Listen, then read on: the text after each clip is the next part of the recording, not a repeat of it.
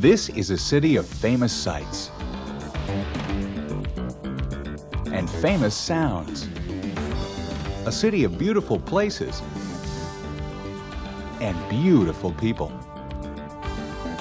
A community which is preserving its past and defining its future. From classy to eclectic. International Video Network presents Lights, Camera, Los Angeles.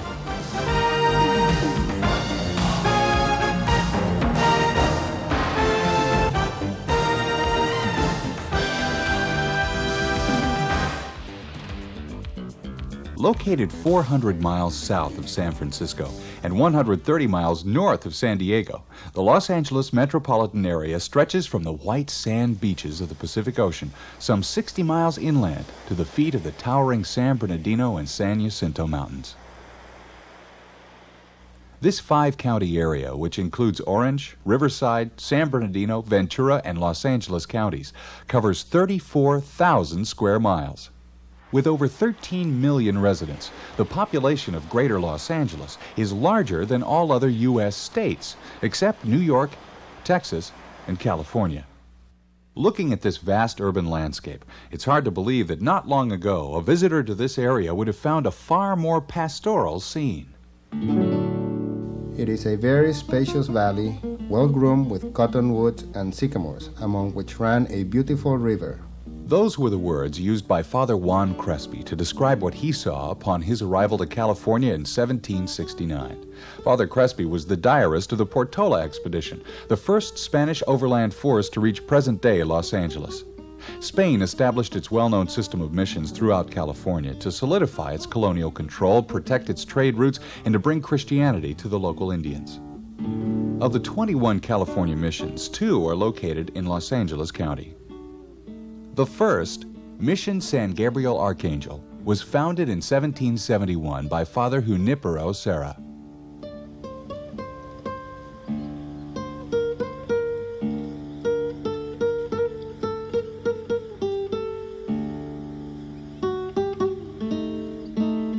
Inside the mission walls, the gray robed Franciscans made their own soap in these brick vats and tanned cattle hides for export.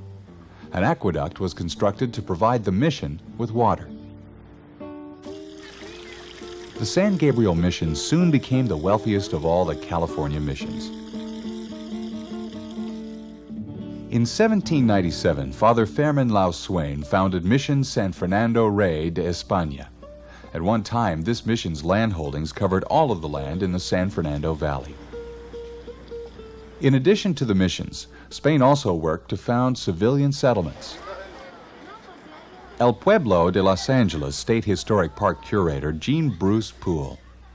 When Felipe de Neve, who was appointed governor of the Californias, founded the Pueblo of Los Angeles in 1781, he gave it the name of El Pueblo de la Reina de Los Angeles sobre el Rio Porciúncula.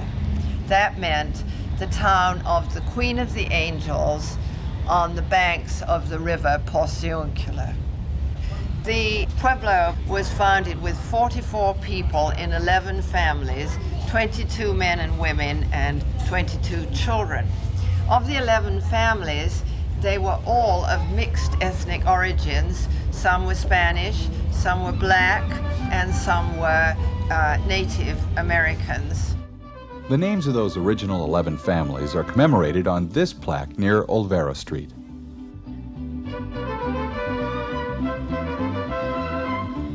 Olvera Street is part of the past that is preserved here in El Pueblo de Los Angeles Historic Park.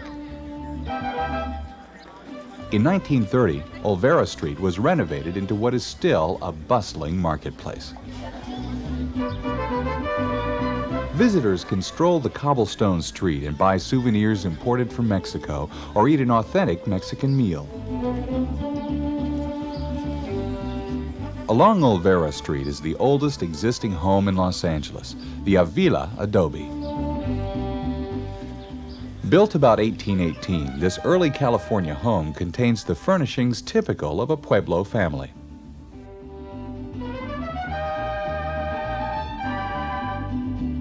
At the south end of Olvera Street is the plaza, which served as the town center of the young pueblo. The one we have today is probably the third or possibly even the fourth plaza, and the present church was built between 1818 and 1822, and probably the present plaza was laid out in 1825 or thereabouts. By about 1870, Pio Pico, last governor of California under the Mexican rule, uh, sold his vast landholdings in the San Fernando Valley to build the city's first elegant hotel, the Pico House. And it was built uh, between 1869 and 70. It was the first three story building in the city. It was altogether a very elegant place for people to stay. Next to the Pico House is the Merced Theatre. That's the city's first building established for the performance of plays. It wasn't a very successful theatre, but it was the first. Around the plaza, we had the firehouse built, which housed the city's first fire department personnel, and before that, they were volunteers. And the firehouse was the first firehouse for the official uh, fire department. What I really hope is that the park will fulfill its original purpose, that of being a historic park dedicated to telling the story of the history of the growth of the Pueblo and its change into the city of today. While Pueblo Park serves as a reminder of the great impact its Hispanic founders had on the city, nearby Chinatown provides a contrast in cultures typical of the remarkable ethnic diversity that makes up Southern California.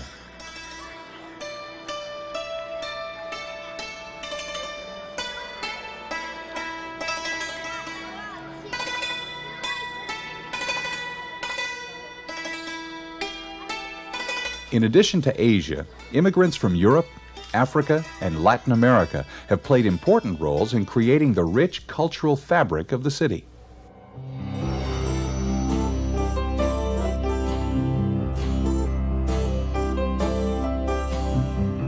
Both Chinatown and Pueblo Park lie in the shadows of Los Angeles' soaring downtown skyline.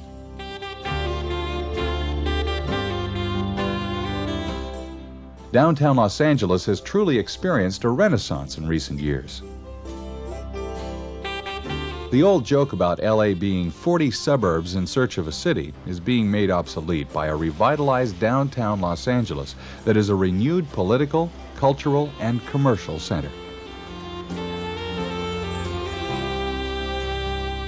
The Los Angeles City Hall is perhaps the most recognizable city hall in the U.S. Built in 1928, it has been seen in countless films and television shows set in Los Angeles.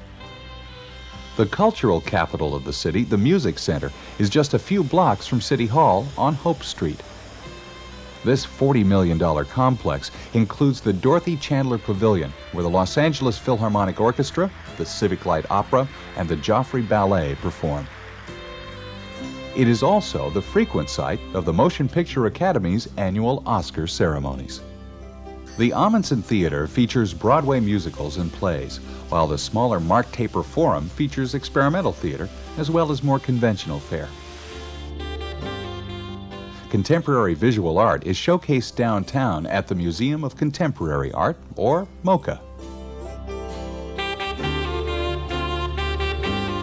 MoCA has two major exhibition facilities with changing international exhibitions of painting, sculpture, photography, film, video, performance, and environmental works. Not far to the south of downtown, just west of the Harbor Freeway, lies Exposition Park and the Los Angeles Coliseum. The Coliseum was built originally for the 1932 Olympic Games. The Summer Olympic Games made a triumphant return to Los Angeles and the Coliseum in 1984. Across South Coliseum Drive is the Sports Arena, home of the Los Angeles Clippers basketball team. North of the Coliseum, surrounding the park's beautiful rose gardens, are two of the city's finest museums. The California Museum of Science and Industry features displays of space technology and aviation while the Los Angeles Museum of Natural History houses mammal, bird, and artifact exhibits from all over the world.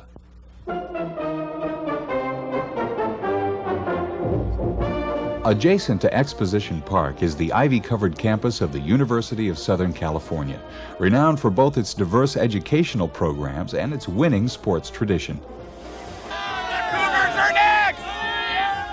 On many occasions, USC's famed Trojan football team takes a trip up the Pasadena Freeway on New Year's Day to play in the Rose Bowl. Dedicated on December 30th, 1940, the Pasadena Freeway was the first of the city's famous freeways. It followed an old bicycle path down the dry stream bed of the Arroyo Seco between downtown Los Angeles and Pasadena. Care was taken to preserve the natural sycamore trees along the arroyo, and the narrow roadway today is much the same as it was originally planned. Alongside the freeway on the way to Pasadena, the Heritage Square Museum offers a glimpse into Southern California's residential past. Here, some of Los Angeles' oldest Victorian homes have been gathered into a village-like setting. Heritage Square Museum was founded in 1969 by a group of citizens with the help of the Cultural Heritage Board of the City of Los Angeles in reaction to what was then almost daily destruction of Victorian era buildings in Los Angeles they felt that there was a need to preserve that part of our history for people to be able to experience and observe. They've all been moved from various areas around Los Angeles and Pasadena and environs. It's all restored with volunteer labor. We have an average of two special events at the museum each month. We have uh, car clubs and we have uh, we had a Victorian fashion show very recently all kinds of, of special things that, that go on. And of course, we always invite people to bring a picnic, spend the day, and really take a, a trip back in time. It's a nice way to, to step back into a leisurely uh, way of life that, that most of us just don't have the opportunity to experience anymore. The Pasadena Freeway ends eight miles northwest of downtown Los Angeles at the southern edge of Pasadena, a city perhaps best known all over the world as the site of the Tournament of Roses parade and home of the Rose Bowl. But there's far more to Pasadena than parades and football. Pasadena is a thriving community of over 130,000 that takes pride in preserving its rich historical heritage. Some of the old buildings here along Colorado Boulevard reflect the architecture from the early 1900s. Old Town Pasadena has undergone a recent renovation. Many of the buildings have kept their turn of the century facades, while new shops and restaurants have taken residence inside. Pasadena first became popular in the early 20th century as a playground for millionaires. Vacationers escaping harsh Midwest winters came to stay in Pasadena's luxurious resort hotels and enjoy the mild climate. Many of the wealthy visitors found the area too attractive to leave and eventually built themselves lavish homes along Pasadena's wide tree lined boulevards. Charles and Henry Greene were among the first of many well known architects to begin designing homes and commercial buildings in Pasadena. The Gamble House is one glorious example of the American craftsman style. It was designed by the Greene brothers, who pioneered this style of architecture. This historic home is now a museum open to the public. Other wealthy residents built their mansions here along Orange Grove Boulevard, including Mr. and Mrs. William Wrigley, the famous chewing gum family. The Wrigley estate was occupied from 1914 until 1958. Today, it houses the offices of the Tournament of Roses Parade. Another wealthy resident of the Pasadena area was railroad magnate Henry Huntington. The 200 acre Huntington estate today houses the Huntington Library, Botanical Gardens, and Art Gallery, which were opened to the public in 1928. The Huntington Art Gallery displays Sir Thomas Gainsborough's The Blue Boy and Sir Thomas Lawrence's Pinky. In the library is a vellum copy of the Gutenberg Bible and first edition works by William Shakespeare and Benjamin Franklin. The development of the Huntington Botanical Gardens began in 1904. On the grounds are the Shakespeare Garden, the Japanese Tea Garden, and one of the most complete cacti gardens to be found anywhere. This beautiful garden setting is actually the campus of one of the nation's best known academic institutions. The prestigious California Institute of Technology has produced numerous Nobel Prize winning scientists and is among the nation's leading research institutions. Caltech scientists also staff NASA's Jet Propulsion Laboratories. Of special interest to Southern Californians is Caltech's contribution to studies in seismology and earthquake prediction. We expect to see great, a great earthquake in Southern California, in other words, a magnitude 8 or so, um, every century and a half on the average. Uh, and the last one was 1857, so we're coming up onto the time period where we might see another one during our lifetime. Uh, Los Angeles is not going to fall in the ocean. That's um, unrealistic. Uh, nor is the ground going to open up and swallow people. That's, that's another common one.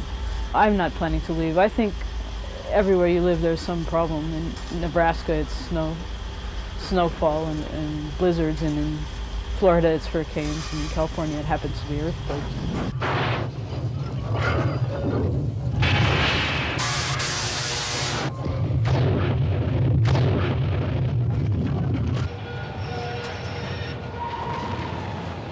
While most Californians dread the big one, visitors to nearby Universal Studios Hollywood can confront their fears firsthand. Thanks to the special effects magic of Hollywood, Universal Studios shakes up an 8.3 earthquake 200 times a day. I was very impressed. It uh, lives up to Universal's advanced claims. You can know you can survive an 8.3 earthquake and experience it safely, we think that uh, that has a great deal of appeal, and there are a large number of people that, uh, that want to experience something like that. Universal Studios has been in the business of entertainment and illusion since 1915. That's when Carl Laemmle purchased a 230 acre chicken ranch and founded the Universal Film Manufacturing Company. Back then, visitors paid 25 cents to watch silent movies being made. With the advent of talkies, noisy visitors were no longer welcome, and the tours came to an end. They were revived in 1964, however, and since then the tour has become the third largest tourist attraction in Southern California. As many as 31,000 visitors a day get a behind the scenes glimpse at the world of make believe.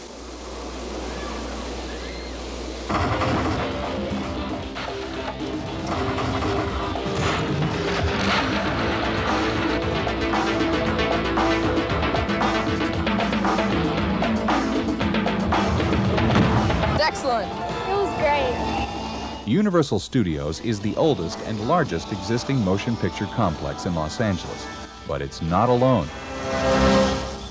Adjacent to Universal City is Burbank, probably most famous as the brunt of jokes from popular comedians. Besides being a quiet bedroom community, beautiful downtown Burbank is also the home of the Walt Disney Studios, Warner Brothers Pictures, and Columbia Pictures. Burbank is also home to NBC Television, where visitors can see the sets of some of their favorite television shows and learn the secrets of how they are made. Tour guests can experience the magic of television while flying high above the Los Angeles skyline in NBC's mini studio. The art of makeup, set, and costume designing are part of the tour, as well as America's most recognized couch and desk on the set of Johnny Carson's The Tonight Show. The monitors up there? Monitors are for a few reasons. After the tour, many stay to watch a taping of their favorite show with the free tickets NBC offers to each tour guest. Across the Ventura Freeway from Burbank lies Griffith Park, the largest city park in the United States. Donated to the city in 1896 by Colonel Griffith J. Griffith, the park has three golf courses, 35 picnic areas, and over 50 miles of bridle trails nestled among its approximately 4,500 acres. Over 100 of those acres make up the Los Angeles Zoo. One of the major zoos in the U.S., the Los Angeles Zoo has over 2,000 mammal, bird, amphibian, and reptile exhibits. On the park's south side, high atop the Hollywood Hills, the Griffith Park Observatory and Planetarium is a great place for a view of downtown Los Angeles or a close up look at Mars. The observatory and the nearby Greek Theater were built with funds donated by Colonel Griffith upon his death in 1919. Each summer, the Greek Theater presents a diverse series of outdoor concerts, ranging from rock and roll to the classics. Every Sunday afternoon, Griffith Park visitors are welcome to stop by the Los Angeles Live Steamers to take a free ride on these beautifully detailed model trains. There are 133 clubs like this all over the world. At the present time, we have members from Chula Vista near San Diego, from Phoenix, Arizona, from uh, uh, Oakland, the Golden Gators. We have almost 7,000 feet of track. It's always running with about eight trains normally every Sunday for the public.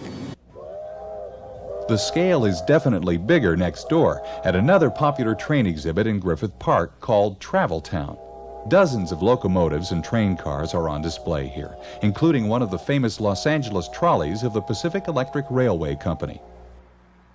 Perhaps the most remarkable mass transit system in its day, the big red cars whisked Angelinos at 55 miles per hour just about anywhere they wanted to go, from Newport Beach to San Fernando, and from Riverside to San Pedro.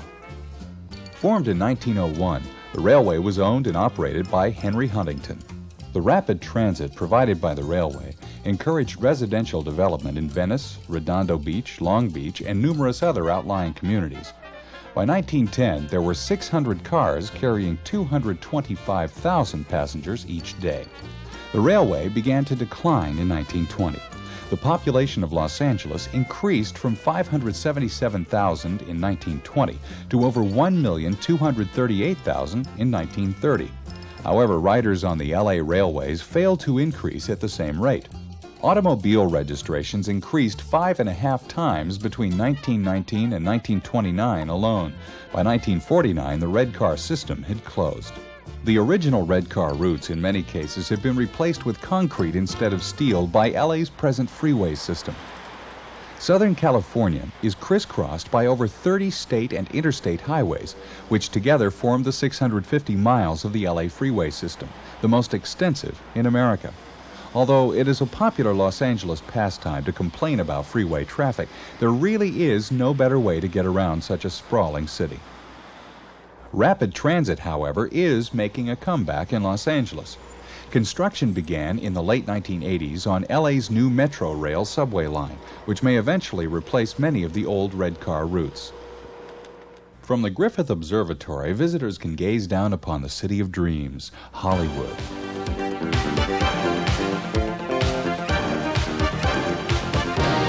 What began as a quiet agricultural community in 1903 now boasts the highest concentration of entertainment related attractions and business in the world. Oddly enough, Tinseltown got its start here in this barn. The Lasky Barn, where the first Hollywood full length feature film, The Squaw Man, directed by Cecil B. DeMille, was shot, has been converted into the Hollywood Studio Museum, which offers visitors a glimpse into the birth of California's filmmaking industry. In 1979, Paramount donated this famous landmark to the city of Hollywood, and in February of 1983, the barn was moved to its present site and made into a museum. The barn houses Hollywood's past with a collection of old movie making equipment and a detailed history of Hollywood's beginnings. Across the street from the museum is the Hollywood Bowl, this natural amphitheater in the Hollywood Hills is home to the Los Angeles Philharmonic Orchestra, as well as jazz and pop music festivals during the warm evenings of summer. Not far from the bowl is downtown Hollywood, the symbol of glamour and glitz that lures millions of tourists from all over the world. Hollywood Boulevard's Walk of Fame is a major attraction, with almost 2,000 stars immortalized on the most famous sidewalk in the world. This star studded boulevard is lined with several other legendary landmarks. Perhaps the most famous is Grauman's Chinese Theater. This unique theater was built by Sid Grauman in 1929 as a showplace for premiering new movies. But the Chinese theater is probably best known for the hand and footprints of hundreds of stars that are embedded in the cement in front of the theater. Today, tourists compare their hand and footprints with the celebrities who have forever left their mark Hollywood Boulevard is crowded with many souvenir shops and tour companies. For shoppers seeking more of the offbeat, West Hollywood's Melrose Avenue, with its trendy boutiques and restaurants, is the place to shop for tomorrow's fads today.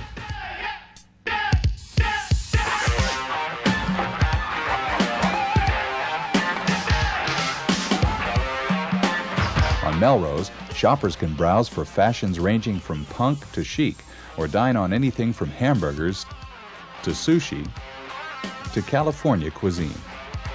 This remarkable street often sets the trends for all of Southern California. Not far to the west is perhaps the ultimate shopping experience in Southern California, the city of Beverly Hills. Beverly Hills bills itself as the most famous small city in the world, and who can argue? Beverly Hills is not just a city. For many people around the world, this 5.6 square mile area represents a dream, a fantasy. Palatial estates, glamorous shops, extravagant cars. In a word, Beverly Hills equals luxury. Since 1912, the Beverly Hills Hotel has provided its guests with world class accommodations. This gracious pink stucco landmark is also home to the celebrated Polo Lounge restaurant. Another luxurious accommodation and landmark is the elegant Regent Beverly Wilshire Hotel, built in 1926. From the Beverly Wilshire, one can walk across the street to the window shopper's paradise, Rodeo Drive. On this three block stretch between Wilshire and Santa Monica Boulevards are found some of the most exclusive and, of course, expensive shops on the planet.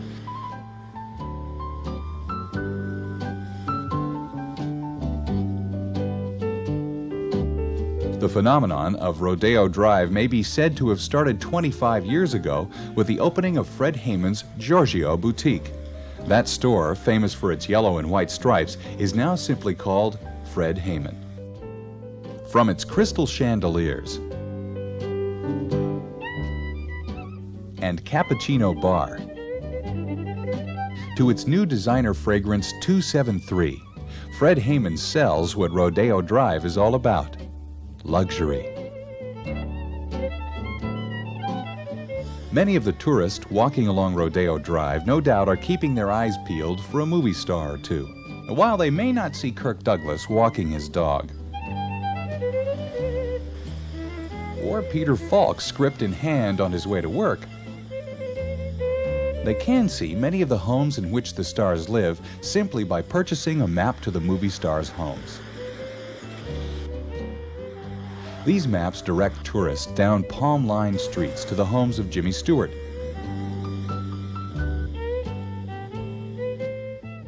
Gene Kelly, Smokey Robinson, George Burns, and the late Jack Benny and Lucille Ball. Visitors to Los Angeles can learn more about the film industry by visiting the Academy of Motion Picture Arts and Sciences, located on Wilshire Boulevard in Beverly Hills. Rick Robertson, executive administrator for the Academy, explains this famous organization's mission. The Academy was founded in 1927 by a group of, of industry leaders. One of its first orders of business, um, which remains today its most visible, was the uh, recognition of excellent achievement in movie making. That award has become known as the Oscar, which is the statuette. The actual Oscar stands about 13 inches tall, plated in gold, the subject of, of a great deal of mythology. And uh, a lot of people ask us how he got his name. A woman named Margaret Herrick, who, who, who uh, now, whose name now adorns our library and who was later to become an executive director of the Academy, it is said that she, upon first seeing the Oscar statuette, said, why he looks just like my Uncle Oscar. Now, uh, you can believe that if you want. We're not, we're not real sure, but uh, uh, Oscar, the name Oscar has stuck. Serious students of film, as well as industry professionals, are provided access to the Academy's Margaret Herrick Library, which houses a priceless collection of scripts, artwork, and other materials documenting the history of movie making. Academy librarian Linda Mehr shares a few of its treasures because our holdings include things like screenplays uh, from as many films as we can get our hands on, They include photographs, 5 million photographs, uh, a nice collection from all of the major productions and many minor ones, both American productions and those from abroad. One of the oldest items in our collection is this very rare book, The Attitudes of Animals in Motion by Edward Muybridge, who did the famous study documenting whether a horse actually had uh, four feet off the ground when it was running. The Margaret Herrick Library, we like to think, is perhaps the finest, certainly one of the finest, motion picture reference research libraries in the world. Art treasures of a different kind can be found at the Los Angeles County Museum of Art, also located on Wilshire Boulevard in the Miracle Mile district of Los Angeles. The museum has one of the most comprehensive art collections in the world, containing a vast variety of styles, medias,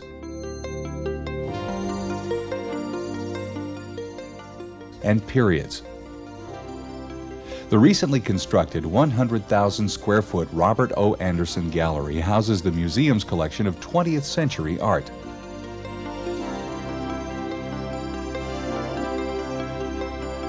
Located adjacent to the Los Angeles County Museum of Art is popular Hancock Park.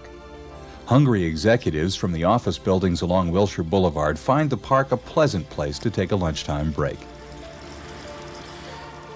The park is also home to the La Brea Tar Pits and George C. Page Museum. The Rancho La Brea tar pits have yielded to scientists the richest cache of Ice Age fossils found in the world. Over 100 tons of fossilized bones have been recovered from these pools of sticky tar. The George C. Page Museum of La Brea Discoveries showcases outstanding examples of the 1 million mammal and bird fossils recovered from the Rancho La Brea site. Reconstructed skeletons of extinct mammoths and saber-toothed tigers are on display. Also on display is an animated replica of a woolly mammoth that children take delight in seeing. Close by the museums at 3rd and Fairfax in the Fairfax district of Los Angeles is Farmers Market, a popular meeting place for visiting tourists, lunching executives, and neighborhood senior citizens. What began as a small group of produce stalls in a vacant lot during the height of the Depression has become an attractive open air marketplace featuring 160 independently owned and operated businesses. The colorful displays of produce, prepared foods, clothing, and souvenirs offer a tempting invitation to touch, taste, smell, and enjoy the unique abundance of the market. The traditional atmosphere of Farmers Market contrasts with the youthful energy of Westwood Village in West Los Angeles.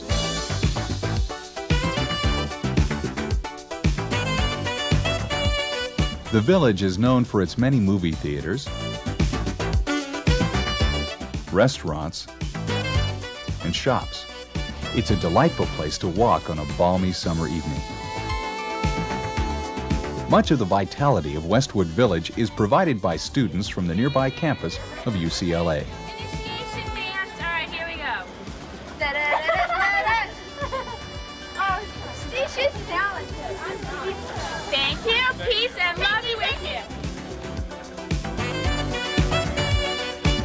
Encompassing 411 acres, the University of California at Los Angeles is one of the leading public institutions of higher learning in the West. Among its services to the greater Los Angeles community are its medical center, fine art galleries, and diverse concert programs.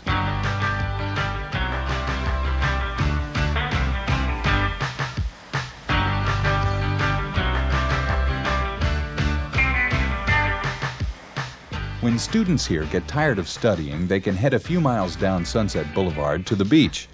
The sunny Southern California beaches draw a large number of tourists as well as native Californians year round. With over 70 miles of white sand overlooking the blue Pacific, it's no wonder that the beaches of LA County are one of the biggest attractions to out of town visitors. For surfing, Surfrider State Beach, also known as Malibu Beach, attracts local Californians because of its consistently good surfing conditions. And it's kind of consistent here. Pretty much comes in every day, just about like this or more. or week. Frankie Avalon and Annette Funicello depicted the beach as a teenager's paradise in the 60s. Decades later, the music has changed, but the beach party still goes on.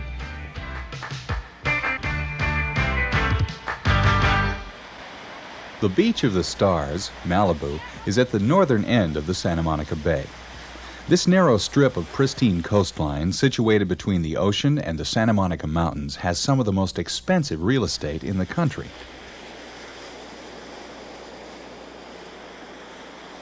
Home prices here are in the millions of dollars, and many of the residents are celebrities from television and film.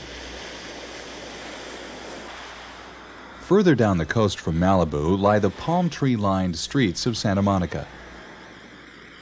The Santa Monica Pier is a famous weekend place to bring the family and enjoy the food and games that line this historic wooden walkway.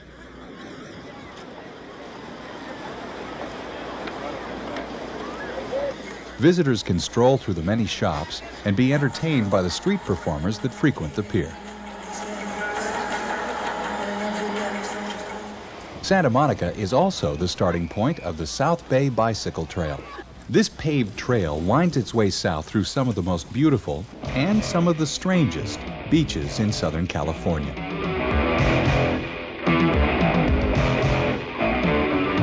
You had any nightmares lately? Well, come and see Freddy Krueger. Venice Beach is a constant show, featuring sidewalk entertainers and other colorful characters that provide entertainment throughout the day.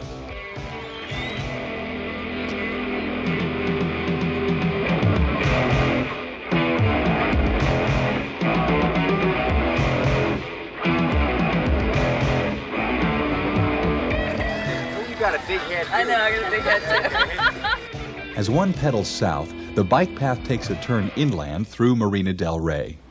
With over 6,000 pleasure boats of all sizes, Marina del Rey is the largest man made marina in the country. On any given weekend, hundreds of boats glide along the marina's waters. The 19 mile long bike path ends dramatically at the cliffs of the Palos Verdes Peninsula. High over the ocean, the peninsula offers magnificent vistas of crashing surf and setting sun.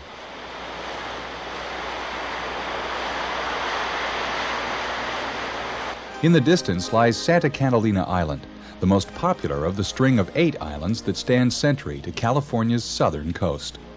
Only two hours by boat from the mainland, the harbor at Avalon provides a Mediterranean style destination for weekend ocean cruisers.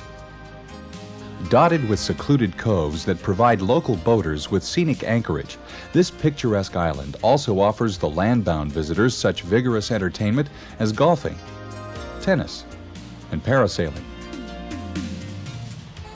Not to mention fine dining and shopping. Visitors may also tour the famous casino or take a ride on the glass-bottom boats. Getting to Catalina can be accomplished by helicopter or by the Catalina Express. Boats leave daily from many of the coastal towns.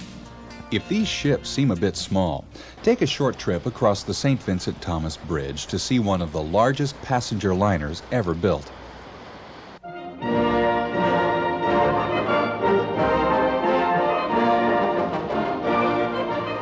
The Queen Mary sits proudly in the waters of Long Beach Harbor. Christened in the 1940s, the Queen Mary made hundreds of voyages across the Atlantic before it was purchased by the city of Long Beach and put on display. Once the vessel for aristocrats in its early years, the Queen Mary was commissioned to transport troops home during World War II. Now at its permanent berth in Long Beach, the Queen Mary is open for tours and is host to waterfront restaurants.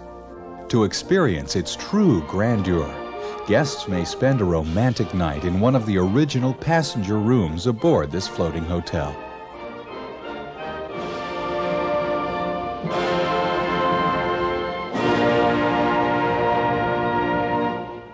From the largest passenger ship, it's only a few steps to the largest airplane ever built.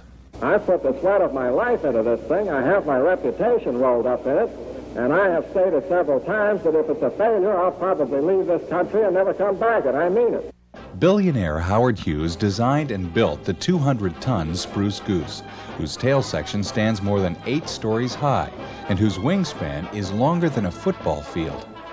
The Great Plane, which takes its name from the spruce plywood from which it is constructed, flew only once on November 2, 1947.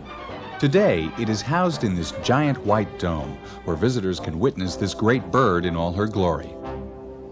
Across the channel from the Queen Mary and Spruce Goose lies California's fifth largest city, Long Beach. Late in the 19th century, Long Beach was a popular seaside resort with its five and a half mile stretch of sandy white shoreline.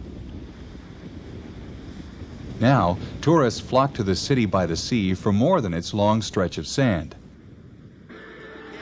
One weekend a year, the city's streets are transformed into a challenging race course.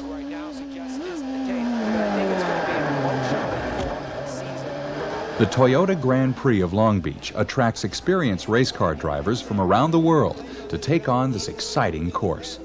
Over the last 15 years, more than 2.5 million people have attended this racing spectacular and witnessed some memorable battles between legendary names like Andretti, Unser, Fittipaldi, Sullivan, Lauda, Villeneuve, and Mears.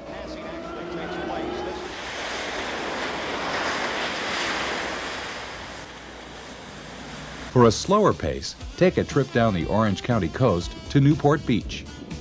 This tranquil seaside community is a lovely place to spend an afternoon flying a kite.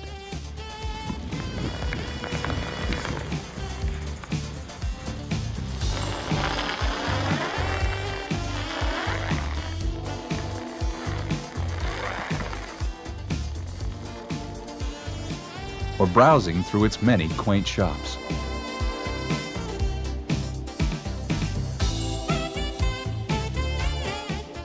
Newport's harbor is lined with over 9,000 pleasure boats for weekend sailors returning from Catalina or tourists out for an hour cruise. It's smooth sailing through the protected waters of this exclusive anchorage. Across the harbor is the neighboring beach community of Balboa Peninsula and Island. The island is accessible by bridge or by the ferries that have crossed the still waters of the harbor for decades.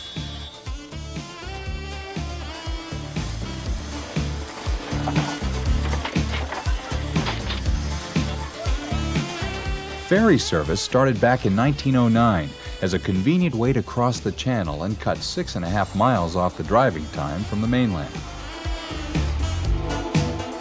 A trip on the ferry also offers a scenic view of the harbor and the restored Balboa Pavilion. During the big band era, the pavilion hosted the likes of Count Basie, Benny Goodman, and Stan Kenton. For a more detailed tour, the Pavilion Queen offers a narrated cruise of the harbor each day during the summer. For the visitor with a yearning for the sea, modern, comfortable sport fishing boats, whale watching cruises from December through February, and steamers to Catalina Island are all available at the harbor. Balboa has one of the last remaining seaside amusement parks in Southern California.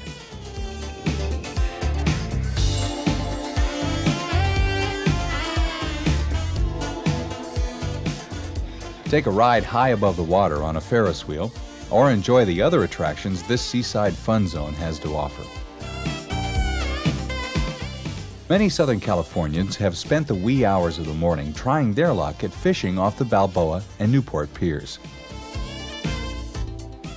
While the change in seasons is a subtle one in Southern California, each time of the year offers its own unique form of recreational activity.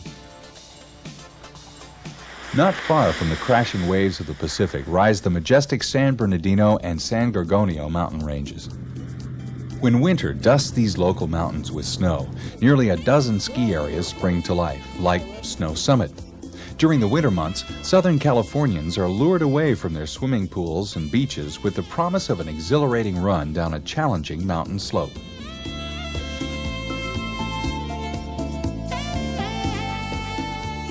At certain times of the year, it is literally possible to spend the morning sunning at the beach and the same afternoon skiing down a Southern California mountain. Ironically, amidst all this beauty and splendor, the most visited mountain in Southern California isn't a mountain at all. Six Flags Magic Mountain is located on the northern border of Los Angeles County in the community of Valencia.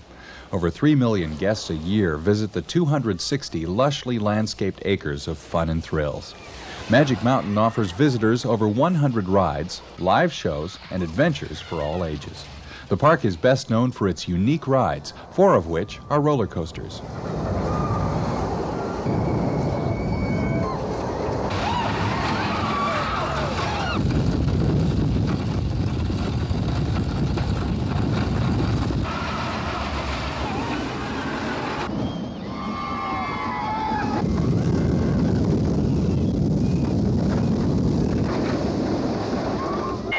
It also has some of the splashiest rides to cool down a hot summer day.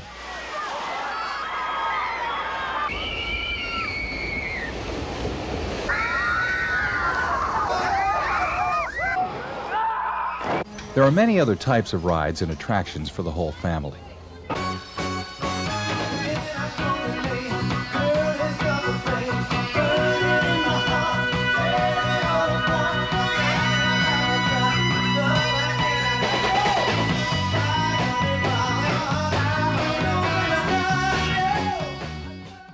Another amusement park well known to Southern Californians started out as a roadside berry stand in the Orange County community of Buena Park. In 1920, Walter Knott, along with his cousin, operated the berry stand on Highway 39, which at that time was just a two lane country road.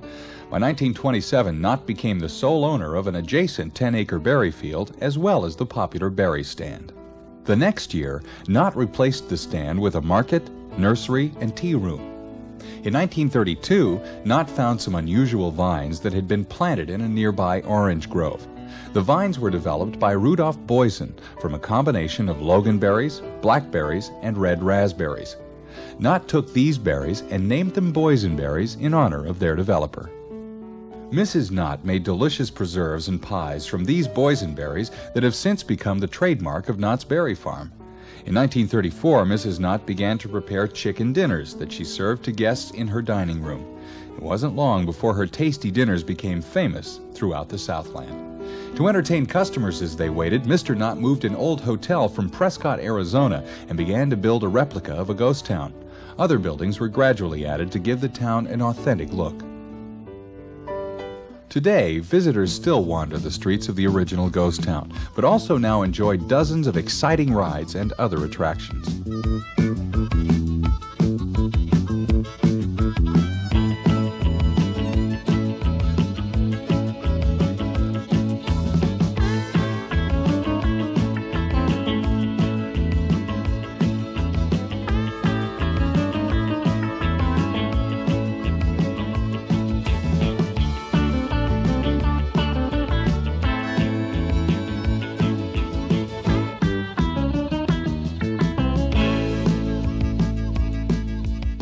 Minutes south of Knott's Berry Farm in the city of Anaheim is the granddaddy of Southern California tourist attractions, Disneyland.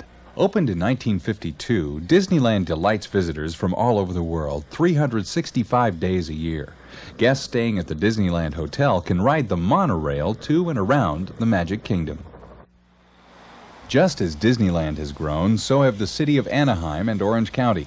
In fact, Orange County is one of the fastest growing urban areas in the United States. This incredible growth is even more remarkable since much of Southern California's lush expanse would actually be an arid desert if not for the engineering expertise of William Mulholland. Amidst much controversy and scandal, William Mulholland supervised the construction of the Los Angeles Aqueduct, which brought desperately needed water from the snow capped peaks of the Sierra Nevada to the booming city of Los Angeles. Opening day ceremonies saw anxious crowds awaiting the arrival of thousands of gallons of Northern California water. Since that day, the aqueduct has been pumping life giving water to millions of Southern Californians. Why do so many people still migrate to Southern California after all these years? There's so much here. You know, there's so much to see and do, and um, the climate is marvelous. I think it's a very sensual city. A lot of, of exciting vibrations good and bad vibrations. But um, you have the impression this, this, this town is alive. That's my experience. The weather, it's the sport, it's the people, it's the fun things to do around here. The sunshine, able to uh, work out, um, good healthy lifestyle, and uh, just having a good time, being free spirited. So much to see. Every place you look, there's just something different. My favorite thing about LA is the beach. The beach. Guys. The beach is the, the weather. The guys. The, the, the guys. That's the absolute best thing. All the gorgeous men. it's alles good. It's okay. it's very nice. There's a lot of crazy people around, especially me, but uh, if you don't have crazy people, you don't have normal people, you know. Throughout its history, one of Southern California's biggest draws is its marvelous weather. Publicized in the late 1800s as the place to come to escape the harsh winters of the Midwest and Northeast, people came the world over to bask in the warm Southern California sunshine. Winter days are usually in the 60s or 70s, with summer highs usually in the high 80s to mid 90s. However, there is a negative side to Los Angeles' sunny weather. I guess the smog. The smog. Yeah, I was just going to say the smog, and the traffic. Pollution. people. There's too many people now. Traffic, and the, and the, you know the the smog. Traffic, smog. Because of the surrounding mountains, local wind patterns, and ironically the sunny weather, an atmospheric condition called an inversion often traps and holds smoke and haze in the Los Angeles basin. And even though air quality has actually improved in the past decade, there are still days when Los Angeles is shrouded in a brown haze. Even though the rest of the country jokes about LA's smog, Southern Californians are still content to live in a climate where shorts and t shirts are almost always appropriate attire, no matter what time of year. Whether to make a new home or simply to visit, every year thousands of people from all over the world are drawn to Los Angeles. With its magnetic combination of climate, culture, and commercial vigor, Southern California remains more popular than ever. And why not? There's nowhere else on Earth where one can surf the perfect wave. Indulge in world class cuisine. Rub elbows with the stars. Or simply relax and enjoy the unique Southern California lifestyle of Los Angeles.